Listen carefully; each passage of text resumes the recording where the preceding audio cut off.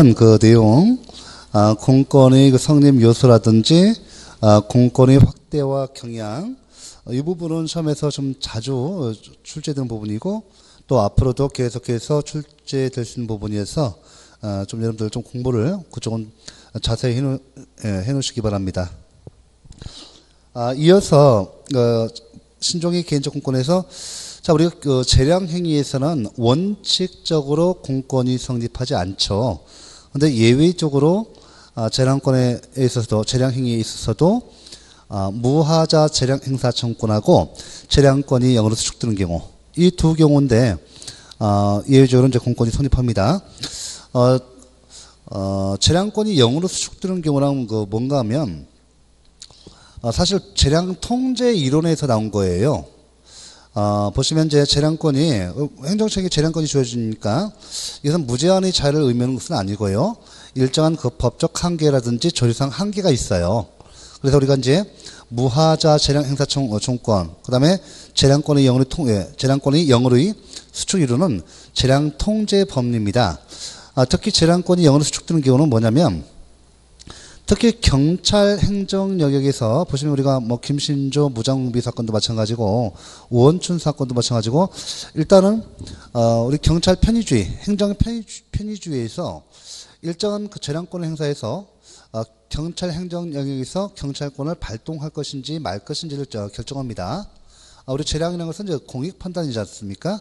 공익 판단에서 재량권의 행사 가 이루어지는데 이 일정한 재량권 행사에 있어서 일정한 행정권을 발동할 것인지 말 것인지가 결정된단 말이에요.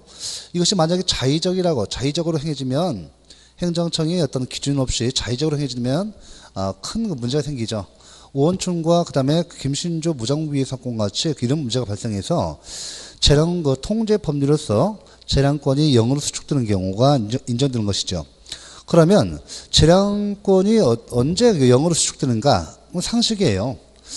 우리 국민의 생명, 생명, 신체, 재산에 대한 중대한 위험이 아, 발생할 아, 우려가 있는 경우, 아, 이때 재량권 영으로 수축돼서 기속행위가 기속행위화 됩니다.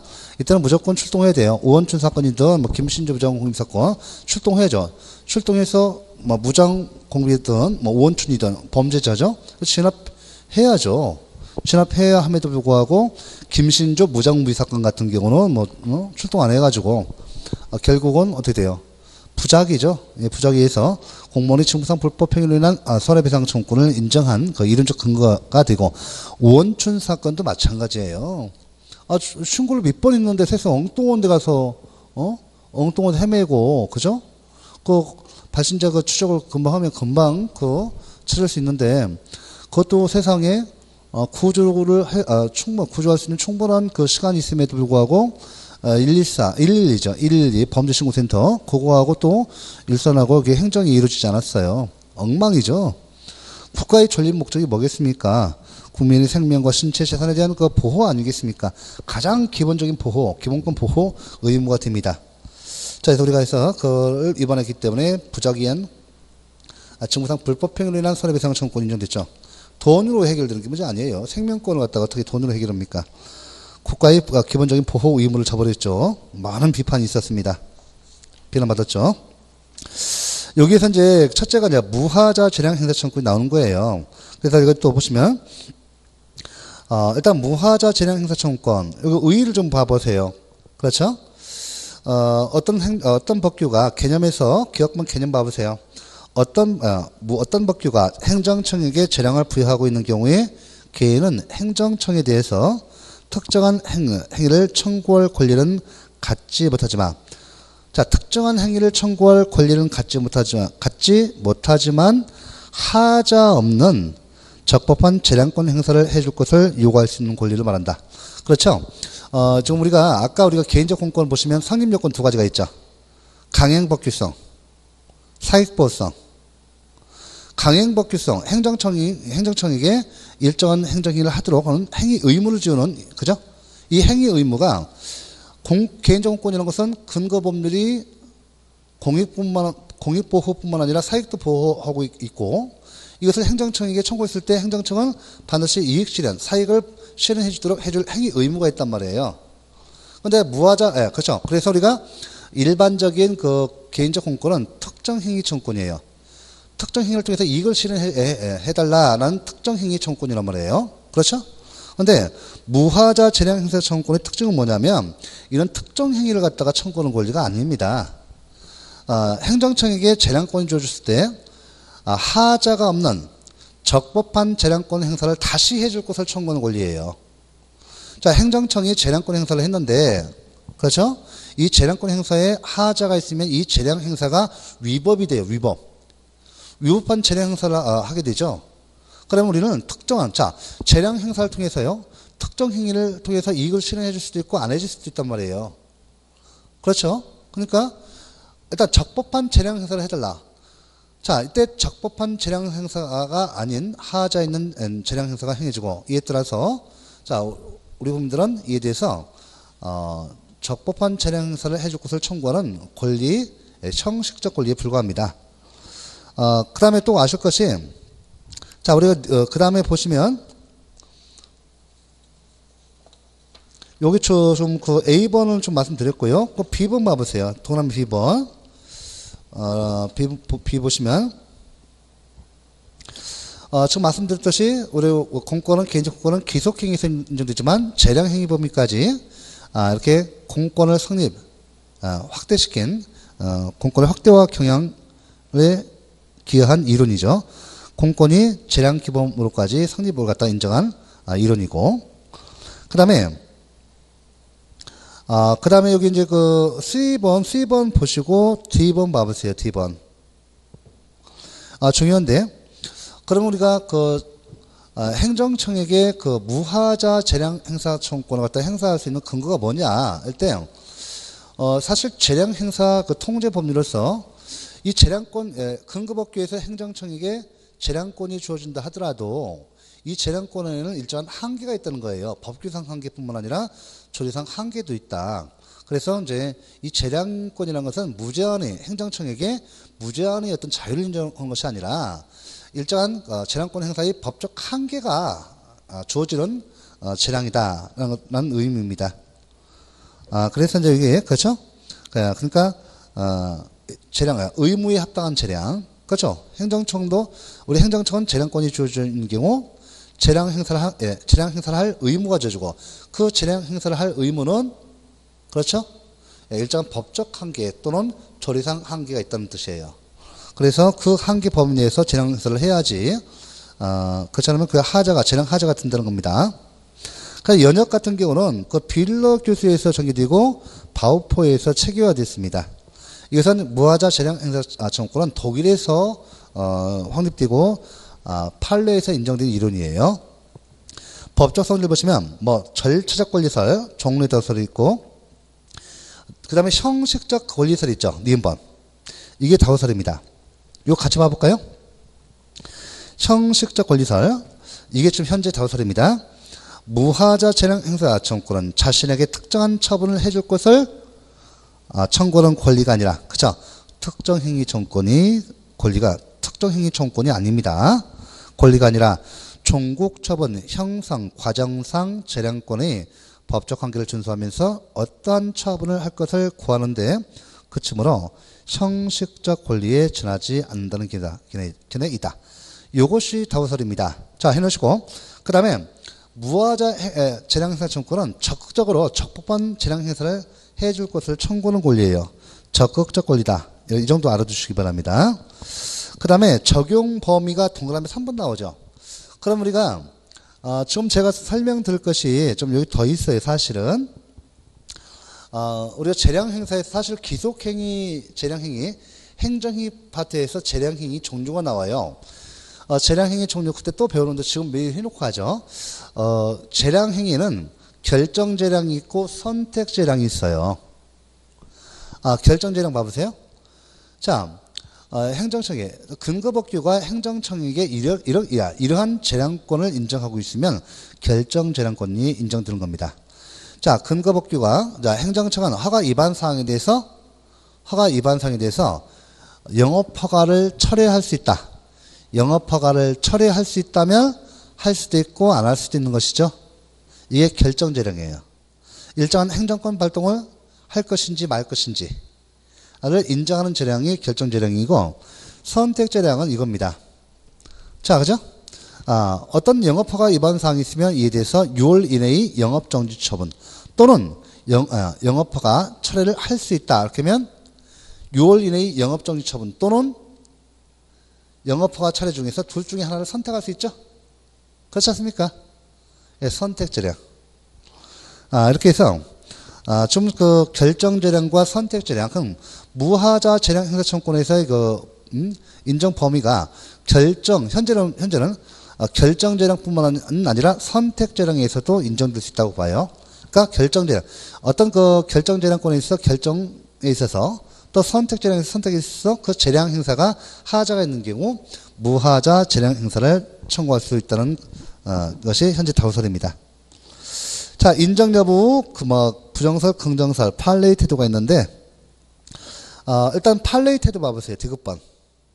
학설은 중요했잖아요, 지금은. 자, 판례는 검사 임용 거부 처분 취소승과 관련하여 적어도 재량권의 한계 일탈이나 남용이 없는 위법하지 않, 는 응답할 의무가 임용권자의 임용권자에게 있고 이에 대응해서 이에 대응해서 임용 신청자로서도 재량권의 한계 일탈이나 남용이 없는 적법한 응답을 요구할 권리가 있다고 하여 이 법리를 인정한 취지로 판시하고 있다. 자, 좋습니다. 그래서 판례는 검사 임용 거부처분 취소에서 재량권 예, 무하자 재량 행사 청구권 인정한 바 있습니다. 어, 그 다음에 중요한 것은 그럼 무하자 재량 행사 청구권 자, 재량 행사에 하자가 있다 할 때, 어, 재량, 재량권. 여러분들 꼭 아셔야 할 것은 근거법규가 행정청에게 재량권을 부여하고 있으면 반드시 어, 재량 행사를 해야 할 의무가 있습니다. 재량 행사를 해야 돼요. 재량 행사를 아예 않는 것이 뭐예요? 아, 재량 혜택, 혜택. 재량 혜택, 재량권이 주어져 있으면 반드시 재량 행사를 해야 합니다. 이때 하지 않는 것을 재량 혜택이라고 하고, 이거 위법이에요. 재량 하자가 있는 것이죠. 또, 재량이 흠결이 있어요. 자, 근거법규에 의해서 재량권이 주어져 있어서 행정청이 재량권 행사를 했지만 이에 따르는 행정 조치를 취하지 않는 경우가 있어요. 재량권 행사는 적법하게 잘했는데 이에 따르는 행정 조치를 취하지 않는 경우 재량이 흠결이 있다고 봅니다. 이거 재량이 흠결이라고 해요. 이것도 위법이에요. 재량하자로서 위법이고 그 다음에 아, 재량이 일탈 또는 6월이라고 해요. 재량이 일탈 또는 6월 이것은 예를 들면 근거법규가 이런 어, 허가 위반 예, 허가 위반 행위가 있으면 6월 이내의 영업정지 처분을 할 수 있다라고 규정하고 있는데 이에 대해서 1년의 영업정지 처분을 1년의 영업정지 처분을 하는 거 이것은 재량권의 외적 한계 6월의 범위를 벗어났죠. 이 법규상 한계, 외적 한계를 벗어난 경우를 재량이 1탈 또는 6월이라고 합니다. 됐죠? 그 다음에 재량이 남용이 있어요. 재량이 남용이 있는데 자 이런 법 위반 사항이 있으면 이에 대해서 6월 이내의 영업정지 처분을 할 수 있다라고 법이 규정하고 있는데 우리 행정청이요. 아니 동종 사건에 대해서 법 위반이 있으면 6월 이내의 법에 의해서 보통 10일이 영업정지 처분을 합니다. 그런데 유독 갑이라는 사람한테는 어떤 함정 이유 없이 어 5월이 영업정처를 하는 거예요. 동중 사건에서 법 위반 사항이 있는데 재량권 행사로서 6월 이내의 범위 내에서 다른 사람들은 다 10일이 영업 정지 처분을 하는데 이 사람에게만은 5월이 영업 정지 처분을 한다. 이렇게 하는 게 어때요? 평등 원칙. 자, 행정법 1번 원칙. 평등 원칙 또는 아, 과잉금지 원 칙, 비례 원칙을 위반했죠. 이와 같이 어, 재량권의 내적 한계를 위반하는 것을 아, 바로 재량이 남, 아, 남용이라고 합니다. 재량이 남용이라고 합니다. 에, 이걸 아셔야 돼요. 행정법의 일반 원칙이라든지 뭐 평등 원칙, 비례 원칙, 또 행, 어, 행정 행위의 목적, 행위 목적, 행위 동기 등을 갖다가 위반한 경우 이런 경우를 갖다가 아, 재량이 남용이라고 해요. 어, 여기까지 알아두셔야 돼요. 그러니까 이런 재량이 재량 하자로서 재량이 일탈, 남용, 흠결, 혜택 이런 하자가 있는 어, 재량 행사에 대해서 이런 하자가 없는 적법한 재량 행사를 다시 해줄 것을 청구하는 권리예요. 자 여기까지 해서 제가 사- 어, 개론적으로 설명드렸고 지금 이렇게 지금 강의 들으시면서 책을 쭉쭉 넘기셔야 돼요. 자그 다음에 어, 동그라미 5번 어, 성립요건에서 강행법규성 나와요. 강행법규성 그 다음에 아, 사익보수성 있는데 특히 여러분들 어, 여기 강행법규성이 시험에서 나올 수가 있어요. 이때 보통의 그 보통의 개인적 공권은 강행법규성이 의미가 행정청 행정청에게 특정 행위 의무, 특정 행위를 통해서 이- 이익 실현을 해줄 행위 의무, 특정 행위 의무, 예, 바로 특정 행위 의무를 의미하는데 행위 의무를 의미하는데 무하자 재량 행사 청권에서의 강행법규서의 내용은 약간 달라요. 그 의무 내용이 일반적인 특정 행위 의무가 아니라 재량권의 한계를 준수할 법적 의무로 바뀌어요. 그렇잖아요. 어, 재량, 어, 무하자 재량 행사 청구는 특정 행위 청구는 아니잖아요. 그렇잖아요. 의무에 합당한 재량을 갖다가 다시 해줄 것을 적법한 적법한 재량권 행사로서 의무에 합당한 재량을 재량 행사를 다시 해줄 것을 요구하는 권리에 불과해요. 그러니까 특정 행위 청구이 아니니까 그죠? 아, 특정 행위 의무가 아니라 강행법규의 내용으로서 특정 행위 의무의 내용이 바뀐다. 어떻게? 재량권의 법적 한계를 준수할 의무로 바뀝니다. 아시겠죠? 바뀌고 그 다음에 사익보성 있죠? 아, 이거 마찬가지로 무하자 재량 행사 청권도 개인적 공권이니까 어떻게 돼요? 그렇죠. 사익보성이 있어야죠. 공익보호뿐만 아니라 사익보성도 있어야 한다. 요거 나오죠? 예. 요거까지, 어, 좀 됐고. 그 다음에 행사 방법, 무하자 재량 행사 청권 행사 방법, 행정청에 대한 청구, 의무 이행 심판, 가업부 처분에 대한 최수성, 부작위 된, 부작위 위법 확인 소송을 통해서, 어, 주장할 수 있습니다. 자, 이어서 양가로 2번 행정 개입 청권을 보도록 하죠. 행정 개입 청권. 아, 이것도, 어, 이것도 보시면, 좀 무하자 재량 행사 청권하고 행정 개입 청권에 의해서 신종이 공권으로 배우잖아요. 중요한 것은, 어, 좀 행정, 어, 무하자 재량 행사 청권은 뭐 당연히 뭐 재량 행위에서만 인정되는 것이고, 이 행정 개입 청권은, 어, 개인적 공권이죠. 특정 행위 청권이에요, 이것은. 음. 실체적 권리고 특정 행위 청권이에요. 사실 그 행정 개입 청권은 기속 행위에서는 당연히 인정되는 겁니다. 기속 행위에서는 너무나 강행법규성에서 당연히 인정되죠. 하지만 이 행정 개입 청권이 아, 실제로 논의 실익 있는 것은 재량 행위 영역이에요. 왜? 기속 행위에서는 너무나 당연히 행정 개입 청권이 인정되니까 논- 논할 실익이 없어요. 왜 행정 개입 청구를 논하는가? 그걸 아셔야죠. 그래야 그게 그 리걸 마인드 아니겠습니까? 그러면 재량 행위 영역에서는 행정청에게 특정 행위를 요구할 권리가 없단 말이에요. 그런데 아, 우리가 오원춘 사건하고 김신조 무장공비 사건에서 문제됐던 것이 경찰 행정 영역에서 행정 편의주의에서 즉 재량권이 인정되니까 자 우리 경찰권을 발동할 것인지 말 것인지는 행정청이 재량에 맡겨져 있단 말이에요. 행정 편의주의. 그런데요, 이 행정 편의주의를 극복 내지 통제하기 위해서 이 재량권의 영으로 수축 이론이 나온 거예요. 이 재량권의 영으로 수축 이론에 의해서 이 재량 행위 영역에서, 영역에서 행정 개입 총권, 경찰 개입 총권 등이 인정되는 겁니다. 됐습니까? 특정 행위 청권이죠.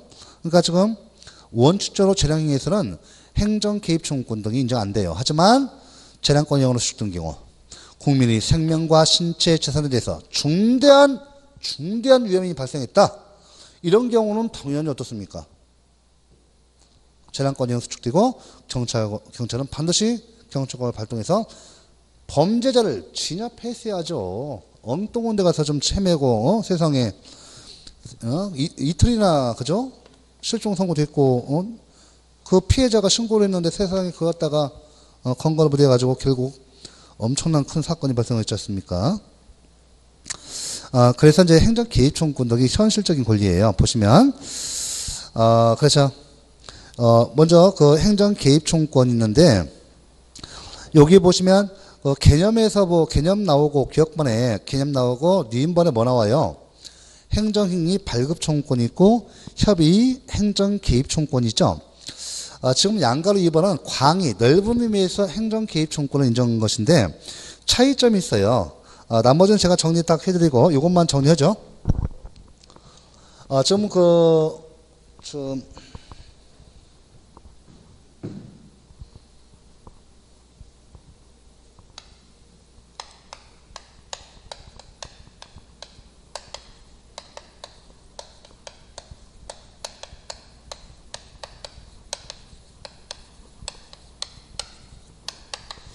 행정 개입 총권인데요.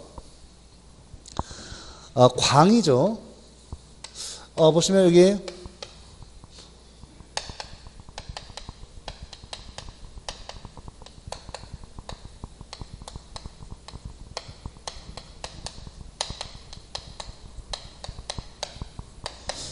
행정행위 발급청권이 있어요. 그 다음에 좁은 의미에서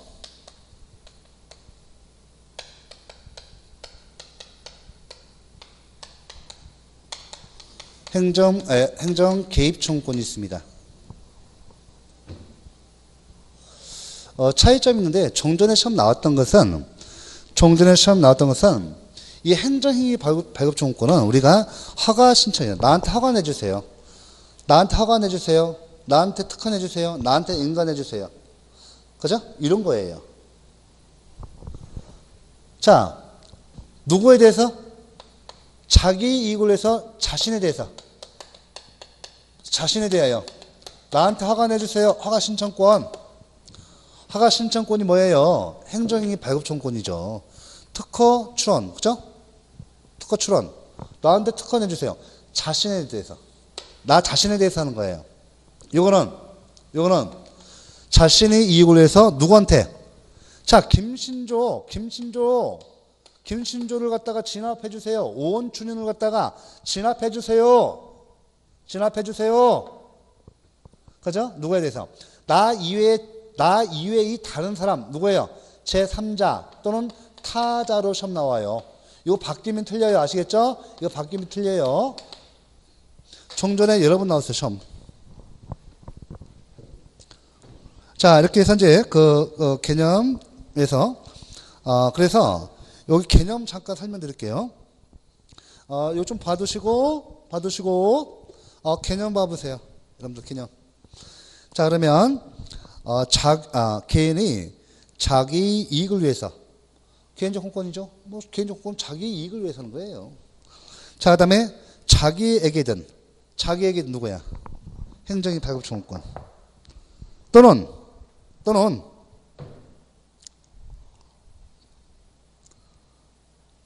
타인에게든 자기에게든 타인에게든 타인 타인 누구예요? 타자 타인 제3자 이렇게 시험 나와요. 타인 타자 타방 타방으로 나올 수도 있어. 타방. 자, 타인에게든 행정권의 발동을 청구할 수 있는 일체의 공권을 광의 행정 개입 청구권이라고 합니다. 자, 행정의 발급 청구권, 협의 행정 개입, 청구권. 됐죠? 예. 자, 논의 배경 돼 있고요. 봐두시고. 논의 배경에서 뭐 제가 니은번, 디귿번 다 기억, 기억, 니은, 디귿 말씀드렸어요. 특히 디귿번은 아, 좀 알아주셔야 돼요. 독일 연방행정재판소는 독일 연방행정재판소는 띠또 판결을 통해서 행정 개입 청구권을 인정했다. 자, 어린들 행정 개입 청구권을 인정한 독일의 판례 그게 뭡니까? 그게 뭐죠? 띠또 판결. 이거 잘 알아두셔야 돼요. 그 밑에 내용 나, 어, 내용 나왔으니까 봐주시고. 법적 성질 봐보세요. 법적 성질 뭐예요, 이거? 요건 중요하죠. 앞에서 봤던 무하자 재량 행사 청구권은 종래 다우서는 절차적 권리라고 봤어요. 하지만 현재 다우설은 형식적 권리, 오케이? 형식적 권리예요. 그런데 우리가 행정 개입 청구권은 실질적 권리 또는 실체적 권리입니다. 특정 행위 청구권. 그러니까 실질적 청구권, 실체적 청구권, 권리 내용이 있다는 거예요. 권리 내용이 뭐예요? 특정 행위를 나한테 해달라. 특정 행위 청구권이 권리 내용이에요. 그렇잖아요. 그래서 우리가 다시 한번 무하자 재량 행사 아청권은 종래 다소된다면 절차적 권리설 또는 형식적 권리설 이 전제 다소입니다. 그런데요, 행정 개입 총권은 실질적 권리, 실체적 권리 이게 맞아요. 시험 잘 나와요 이거 바뀌면 틀려요. 아, 아 됐고 그 다음에 이제 음, 여기 그 다음에 중요우선 행정 개입 총권도 역시나 적극적 권리다. 오케이? 하여튼 뭐 무하자 재량 아, 행사 청권 행정 개입 총권을 소극적 권리다 하면 틀려. 소극적 권리다 하면 틀려. 적극적 권리다. 성립 요건 강행 법규에 의한 법률상 의무의 존재. 당연하죠? 예. 자, 강행 법규에 의한 법률상 의무의 존재. 제가 말씀드렸죠? 아, 계속행위에서는 당연히 인정되죠. 기억 보세요. 강행법규에 의한 법률상 의무 존재 당연히 인정되죠. 이건. 그죠? 그러니까 어, 계속행위에서 우리가 강행법규성이 있을 때는 다 인정되고 임의법규성 즉 재량행위에서도 재량권형으로 수축되는 경우는 똑같아요. 그렇죠? 예. 말씀드린 거고. 아, 넘겨보세요. 사익보성이 존재죠? 예, 사익보성이 존재. 당연히 인정돼야죠. 그래서 아까 우리가 앞에서 봤던 공, 개인적 공권을 확대해서 개인적 공권을 확대 제가 이론적으로 공통적으로 해놓은 거예요. 그러니까 어, 강행법규성 여기서 행위 의무 행위 의무가 계속행위에서는 당연히 인정된다. 재량행위에서도 인정될 수 있어요. 재량권형으로 수축되는 경우 됐죠? 예. 자, 그다음에 사익보성도 법에 의해서 보호되는 이 그, 개인적 공권의 확대와 경영을 배우셨습니다. 꼭 같이 받으시고. 아, 보충학습에서 제가 말씀드렸던 시 이거 나왔죠. 아, 보충학습에서 예전에 한번 이게 시험 나왔던 질문을 정리해 놓은 겁니다. 아, 재량권의 영어로 수축의 이론은 원래는 어, 우리가 재량 재량의 종류가 결정 재량과 선택 선택 재량이 있죠. 맨 처음에 그 어, 여기 행정 개입 총권이 주장될 때는 재량권 어, 행정 개입 총권에서 그 이론적 근거로 재량권의 영원의 수축 이론이 맨 처음에 나왔을 때는 결정 재량이 하자 결정 재량이 하자에 대한 법리로 출발, 출발했어요. 결정 재량이 하자에 대한 법리로 출발해서 오늘날은 선택 재량이 하자에게까지 행정 개입 정권을 인정한다는 거예요. 됐죠? 이렇게 놓고 그래서 거기 시험에서 예, 그죠? 예. 3번 주의하십시오. 동이론은 행정청이 결정 재량에 있어서의 하자에 대한 법리로 출발한 이론이다. 이렇게 돼요. 선택재량으로부터 출발한 이론이다면 틀려요. 이렇게 놓으시고 어, 자, 그 다음에 적용 영역 다시 한번 보시고 행사 방법 자, 판례도 인정하죠? 예, 판례도 인정합니다. 그래서 이제 오원춘 사건하고 김신조 부장군 사건에서 경찰 행정영역이죠. 행정 편의주의가 인정되고 있죠. 재량 재량이 인정되고 있죠. 하지만 재량권 행사의 영어로 수축 이론에서 행정 개입 의무, 출동 의무가 있음에도 불구하고 출동하지 않았다. 부작위 아니에요, 부작위. 그래서 공무원의 직무상 불법행위 된 거예요. 부작위로 있어. 출동해서 그런 진압해서 손해가 발생하지 않게 했어야 하는데 공무원의 직무상, 공무원이 부작위한 직무상 불법행위를 통해서 이 생명 신체가 침해 됐잖아요. 그래서 손해배상 해준, 어, 해준 거예요. 국가배상. 유족들한테. 돈이 문제겠습니까? 얼마나 처참하게 사람 죽습니까? 죠? 예, 이렇게 받으시고 일단은 여기까지 해놓고 그 다음에 관련 판례 뭐김 112 11121 무장공비 사건이죠. 김신조 행정청이 부작위 위법성 인정해서 공무원의 직무상 불법행위로 인정해서 손해배상을 해줬습니다. 아, 비교 도표 나오죠? 봐주세요. 잘 봐주세요. 봐주시고 그 다음에 공권과 반사적 이익 구별, 어, 공권과 반사적 이익, 이익 구별 실익 나오죠. 아, 그래서, 아, 요건 좀 앞에서 말씀드렸어요. 그러니까 행정 쟁송을 통해서 구제를 해주느냐, 안 해주느냐. 행정상 손해정보를 통해서 구제를 해주, 해주느냐, 안 해주느냐. 그러니까 반사적 이익, 반사적 이익 또는 사실상 이익이 침해된 경우는 행정 쟁송을 통해서도 구제를 안 해주고 행정상 손해정보, 손해배상이나 손실보상 안 해줘요. 하지만 개인적 공권이 침해됐을 때는 법률상 이익이 침해됐을 때는 행정쟁성을 통해서 구제를 해주고 또 행정상 손해전보 즉 행정상 손해배상과 손실보상을 통해서 구제를 해줍니다. 이게 가장 큰 실익이었어요. 자, 이렇게 해서 여러분들 반사적 이익이 유형 봐보세요. 그 다음 공의무 보시고, 어, 공의무 보시고. 아, 여기까지 해서 신종이 공권 다 끝났어요, 여러분들. 그 다음에 제7절에 특별 권력 관계를 보여야 돼요. 특별 권력 관계. 아, 자, 여러분들 이제 저 다시 한번 제가 위에 판서를 통해서 정리를 해볼게요.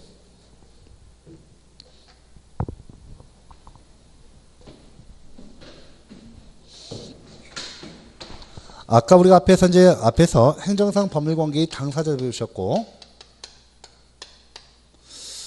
자,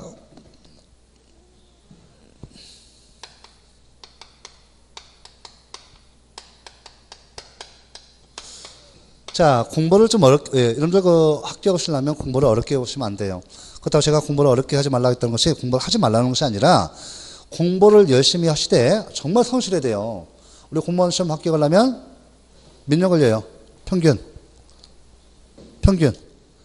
얼마 걸립니까? 어, 2년 걸립니다. 그죠? 그러니까 우리가 어, 보배 우리가 구슬도 서멀이라 서말이라 하더라도 그걸 또 끼워야 보, 보배가 어, 드는 것이 아니겠습니까?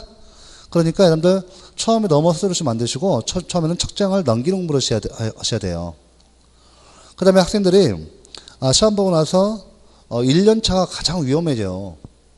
처음에는 이제 실력이 안 되니까 암기 위주로 했다가 한 6개월, 1년 정도면 이제 이해가 되거든요. 그때는 이제 암기상이 빠지기 때문에 좀 많이 떨어져요. 떨어지는데 어, 공무원 학생들 그 특징을 보면 올해 이 부분에서 내가 좀 그 어려워 좀 문제가 좀 틀려서 떨어졌다. 예를 들면 어, 그 라인도 조정 같은 경우는 각 과목마다 돌아가면서 내요. 국어가 계속 어렵게 나온다든지 계속 쉽게 나온다든지 그렇지 않습니다. 3, 4년마다 영어, 국어, 국사 선택 과목 돌아가면서 계속 난이도 조정해요. 번갈아 가면서. 그러니까 올해 아이고야 예를 들면 올해 뭐 어? 국어에서 시험을 갔다가 좀 어, 어렵게 나와서 떨어 좀 떨어졌다. 그럼 그 다음 해 열심히 국어만 열심히 합니다. 또 떨어져요. 왜 떨어져요? 왜 떨어집니까? 그 다음에 국어는 평이하게 나오거든요. 그렇지 않습니까? 평균적으로 공부를 하셔야 돼요. 이번에 행정법이 좀 어렵게 나왔다. 그 다음 쉽게 나와요. 2, 3년 동안. 올해 행정법이 어렵다고 행정법만 열심히 합니다. 또, 또 떨어져요. 다른 과목이 난이도, 어, 난이도, 난이도 주는다면 그게 또점 빠진단 말이에요. 그러니까 그렇게 하시면 안 되고 일정 기간 2년, 최소 2년 공부하셔야 돼요. 공무원 시험 지금. 아, 공무원 시험이 어렵진 않아요. 깊이는 없어요. 없는데 이게 분량이 많아요. 공부 분량이 얇아 이렇게 깊이 안 들어가요. 그러니까 그 출제 경향에 맞춰 가지고 공부를 하셔야 하고 어그 한 1년차 그 넘어가면 자꾸 남들보다 한 개 더 맞춰, 맞아야 한다 생각하니까 자꾸 어려운 것만 해요. 그렇게 하면 안 돼요. 총 행정법을 기준해서 아, 여러분들 합격하시려면 90점 나오거든요. 90점 나오야만이 행정법 그 합격하십니다. 하시는데 집도키가 70점 돼요. 일정한 어, 사실 그 누구나 공부를 한 1년 이상 하면 6개월 이상 1년 하면 60점은 기본적인 사항 내기 때문에 다 맞춰요. 근데 그 60점 기본적인 사항 가지고 확 못하죠. 그래서 또 다시 6개월 공부하는 겁니다. 그 1년 꼭 꼬박 해요. 그러면 거의 90점 나와요. 그러니까 기본 점수 60점에다 12개, 12개. 12개에다가, 그죠? 여기서 70점에서 90점 맞추는 구간, 4개를 더 맞아야 돼요. 이 구간이 응용 문제 나옵니다. 응용 문제 나오고, 나머지 두 문제, 그죠? 두 문제. 90점에서 100점 구간, 구간. 이 두 문제를 더 맞추기 위해서 공부하시면 안 돼요. 무조건 떨어집니다. 어? 그러니까 지금, 어, 기존에 60점에서 응용 문제를 나오기 때문에, 그죠? 아, 60, 60점에서 80, 아, 60점에서 90점 구간. 이건 응용 문제 나오니까 기존에 있는 공부 책을 가지고 공부하시면 제 책 가지고 오시면 많이 남아요. 여러분들 교재 갖고 공부하면 다 남아요. 많이 남고 문제하고 좀 몇 가지 만 더 하시면 돼요. 근데 공부를 어, 어, 하는 걸 보니까 아, 나중에는 뭐 이상한 것도 많이 봐요. 책도 만, 책 많은 사람 절대 합격 못해요.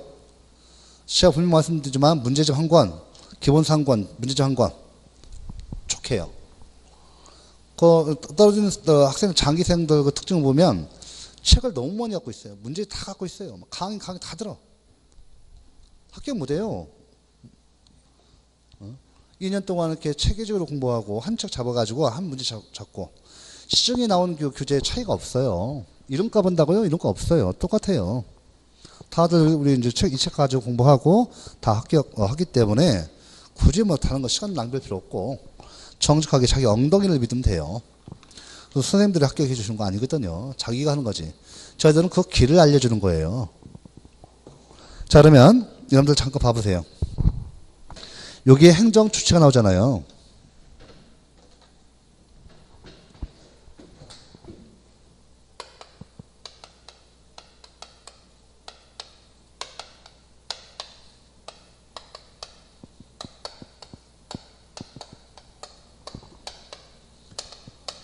자, 이렇게 나오죠. 그럼 우리가 이제 앞에서 행정주체 공부하셨잖아요. 행정주체 내부가 있죠. 계속 기본적인, 기초적인 이론이 적용되는 겁니다. 이 내부를 넘어서 외부 작용하죠. 누구한테? 우리 일반 국민에게 하잖아요. 그러면, 자, 이와 같이 행정 주체세요. 자, 그럼 우리가 이 행정 주체 내부 관계죠. 이 내부 관계 뭐가 있어요? 예를 우리가 다 생략하고 행정기관이 있죠. 행정기관 있고 이 기관 구성원이 누구예요? 기관 구성원 공무원이죠. 그러면 이 행정 주체를 기준으로 해서 자 행정 목적실을 위한 행정 주체의 외부 활동 관계. 자, 이 보세요. 제가 행정 주체는 누가예요? 우리 상권 분립에서 어, 국가 행정 권력이죠. 국가 행정 권력이에요. 줄여서 뭐라고 해요? 이것들아 국가 권력이라 하죠. 그렇죠. 우리 국가, 국가 권력. 상권 분립에서 입법권, 행정권, 사법권 나누죠.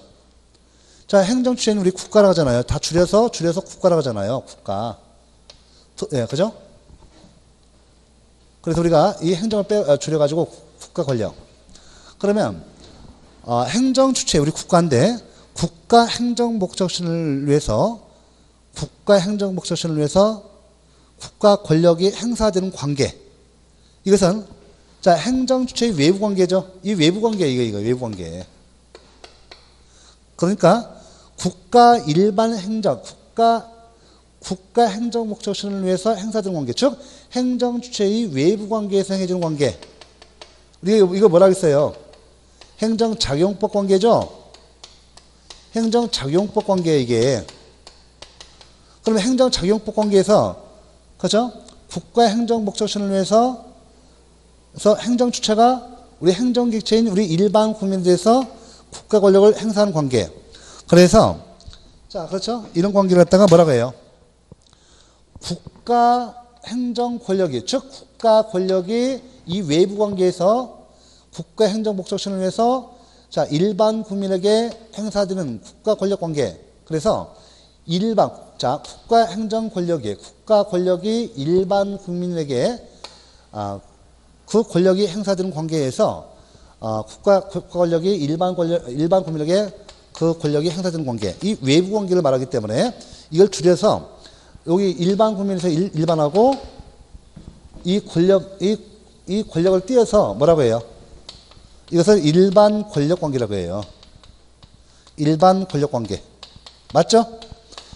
그래서 우리가 이, 이 외부작용, 이 외부작용을 행정작용이라 하고 이것을 우리가 일반 권력 관계에서 우리 일반 국민에게 행사되는 행정작용이라 해서 더 줄여서 일반 권력 관계에서의 작용 줄여서 일반 행정작용이라는 거예요.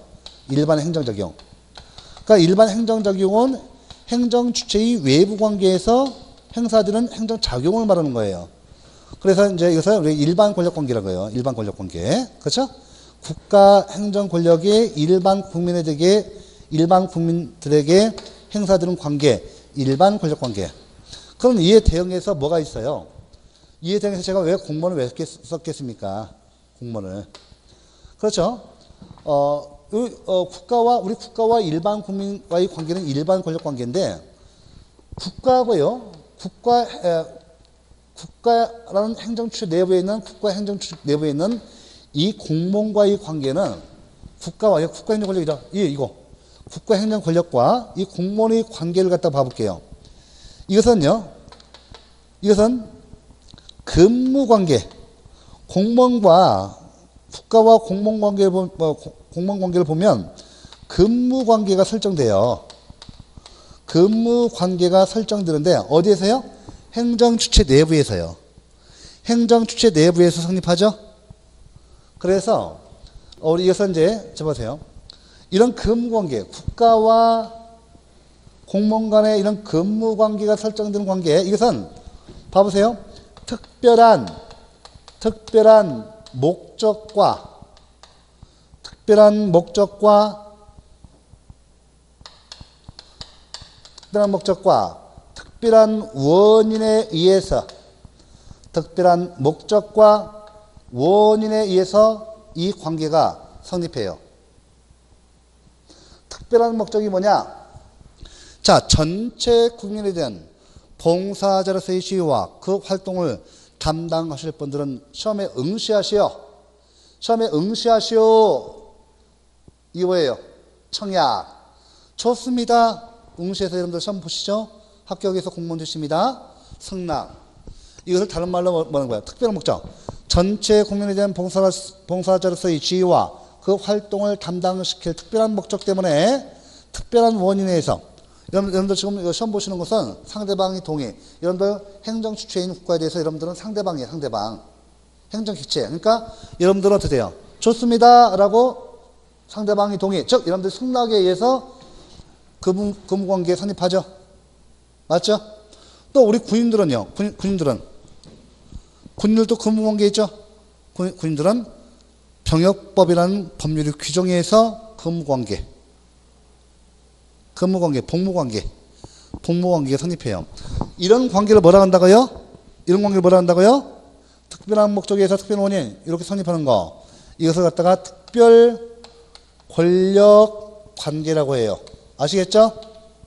특별한 목적에서 특별한 목적에서 공무원은 전체 국민에 있어서 소수자 국민이죠.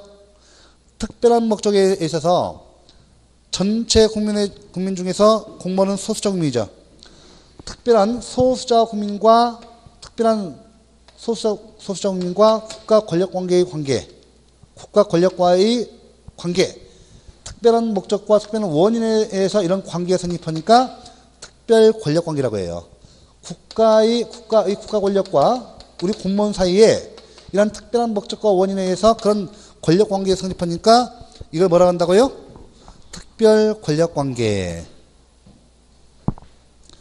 어, 그래서 다른 건 필요 없고, 어, 여기서 이제 우리가 여기서 시험 나는 것은 어, 두 가지 유형이 있습니다. 전통적인 전통적인 특별 권력 관계에 일어나고, 자 현대적 의미, 현대적 특별 권력 관계 이론은 차이점이 있어요. 여러분들 전통적인 특별 권력 관계 이론을 물어보면 전통적 특별 권력 관계 이론대로 문제를 푸시고 만약에 전통적이라는 의미가 없으면 현대적 의미에서의 특별 권력 관계 이론을 푸셔야 합니다. 자, 이걸 전제로 해서 하나씩 이제 쭉 가도록 하죠. 자, 그러면 여기 93, 아, 아 여기 제 7절. 특별 권력 관계에서 특별 행정법 관계. 올라는 특별 권력 관계라는 그 어, 용어는 타당하지 않다. 아, 그래서 특별 행정법 관계라고 하자는 이론이 있어요. 자, 의의를 좀 말씀드렸고요. 특징 봐보세요. 특징. 자, 특별 권력 관계 이론은 일반 권력 관계에서 통용되는 법치주의나 법치주의나 법치 행정의 원리를 특별 권력 관계에 적용하는 것을 배제하는데 그 특징이 있다. 그렇죠? 자, 특징 별표 3개. 그러니까 잘 봐보세요, 여기. 이 행정 주체 이 내부 관계에 내부 관계, 행정 주체 이 내부 관계에 있어서 국가와 우리 공무원과의 관계 등을 갖다가 그죠? 특별 권력 관계라고 해요. 그러니까 전통적인 특별 권력 관계로는 이 행정 주체의 외부 적용에서 정도는 법치주의, 법치 행정의 원리죠. 법치주의, 법치 행정의 원리, 행정 주체의 외부적 관계, 행정 적용법 관계, 외부적 적용 관계. 당연히 적용이 있죠. 근데 이것이 전통적인 특별 권력 관계에 이른다면 이 법치 행정 행정 원리가 이 일반 국민에게 인정되는 일반 권력 관계에서는 일반 권력 관계죠. 에서는 인정되지만 이 특별 권력 관계는 에서는 법치주의 또는 법치 행정의 원리가 배제된다. 적용이 없다는 이론이에요. 그러니까 이제 이거 아 이거 좀 해놓고 자 그러면 어, 지금 특징 잘 봤죠? 꼭 해놓으셔야 돼요. 네, 전통적인 특별 권력 관계 이론 내용입니다. 자 일반 권력 관계와의 구별 나오죠? 아, 좀 다 말씀드렸어요. 뭐 권력적 기초, 목적, 관계, 성질, 성질, 성질 볼까요? 국가와 우리 공무원과의 관계는 포괄적인 지배 복종 관계죠. 국가는 포괄적으로 지배하고 우리 공무원은 복종 의무가 있습니다. 그죠? 특별 권력 관계. 성립 말씀드릴 거예요. 법치주의. 그죠? 적용 배제. 제한. 그러니까 이분 뜻이에요. 이 법치주의, 법치행정의 원리가 행정 주체 내부, 행정 주체 내부에서의 특별 권력 관계에는 이 법치주의가 배제된다. 즉, 이 법치주의가 적용 안 된다. 법치주의가 적용 안 된다. 불침투설. 불침투설. 이 법이 이 행정 주체 내부에 있는 이 특별 권력 관계, 요거 국가와 공무원과의 관계, 특별 권력 관계는 이 법치주의가 침투하지 못한다. 적용되지 못한다는 뜻이에요. 그래서 우리가 불침투 이론을 어, 기반으로 합니다. 아, 그 다음에, 자, 우리 일반 권력 관계에서는 우리 국민들이 어떤 행정법 의무 위반이 있으면 이에 대해서 뭐라고 해요? 이에 대해서 뭐라고 해요? 행정벌을 부과하죠. 이에 대해서 우리 공무원 관계, 특별 권력 관계에서는 징계벌이 주어집니다. 자, 일반 권력 관계에서는 행정규칙. 자, 여러분들 중요한데, 어, 이 행정규칙, 이거 뒤에서 행정입법을 배우셔야 어, 좀알 수 있는 내용입니다. 그런데 일단은 행정규칙 좀 설명드릴게요. 행정규칙은 뭐냐면, 행정규칙은 행정입법 일종인데, 지금은 행정규칙 그거 단, 딱 이것만 알아두세요. 이 행정주체 내부에 있는 우리 행정주체 내부이죠. 행정주체, 행정주체 내부 질서나, 아, 우리 공무원을 규율할 때 행정주체의 내부 질서나 특별 권력 관계에 있는 이 공무원을 규율하기 위해서 제정하는 행정입법 유형이 행정규칙입니다. 행정규칙. 행정규칙이에요. 그래서 행정규칙은 행정입법인데 우리 행정기관이 만드니까 행정입법이에요. 행정기관이 만드는 행정입법인데 그래서 우리 공무원만을 규율하고 이 행정규칙은 우리 일반 국민을 구속할 수 어, 규율할 수 없어요. 구속할 수 없어요. 누구만 처음부터 행정규칙은 행정처 내부 질서나 특별 권력 관계에 있는 이 공무원만을 규율하기 위해서 지정됐기 때문에 일반 국민을 구속하는 효력가 없어요. 일반 국민을 법적으로 구속 못합니다. 아, 일반 국민을 법적으로 법적으로 구속하는 것을 법규라고 해요. 법규는 법규는 국민의 권리 의무 사항을 규정하고 있어서 아, 우리 일반 국민을 법적으로 구속하는 법규범을 말합니다. 그러니까 행정규칙은 법규성이 있어요 없어요? 행정규칙은 행정처 내부에서만 되고 일반 국민을 구속하는 예, 구속하는 효력이 없기 때문에 법규성이 없다. 일반 국민을 구속하는 효력이 없다. 같은 말이에요. 비법규성이라는 것은 일반 국민을 구속하는 효력이 없다는 뜻입니다. 자, 그래서 우리가 두 번째 전통적 특별 권력 관계 이름 나와요. 그러니까 지금 일반 권력 관계에서 도표 다시 보겠습니다. 일반 권력 관계에서는 행정규칙, 행정규칙이 법규성 부정, 특별 권력 관계에서 특별 명령 이론에 따라서 행정규칙이 법규성 긍정. 요거는 그냥 좀 그, 지금 알아두십시오. 어, 뒤에서 행정 입법 볼 때 이 특별 그 명령설이 나와요. 그때 가서 더 공부를 하고 지금은 여기 제재까지 제재하고 행정 규칙.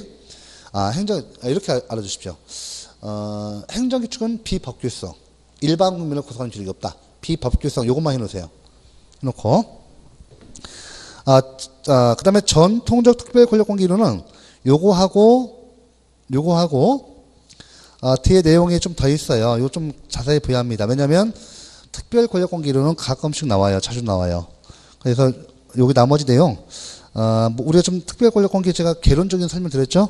그래서 이제 아, 전통적인 특별 권력 관계 이론 여기까지는 요 요거 요거는 다음 시간에 넘겨서 볼게요. 내용이 좀 더 많아서 어, 좀제 7절 특별 권력 관계 여기서 개설 개설 파트만 좀 보- 보고 전통적 특별 권력 관계, 이론하고 아, 현대적 의미 특별 권력 관계 이론은 어, 다음 시간에 넘겨서 하겠습니다.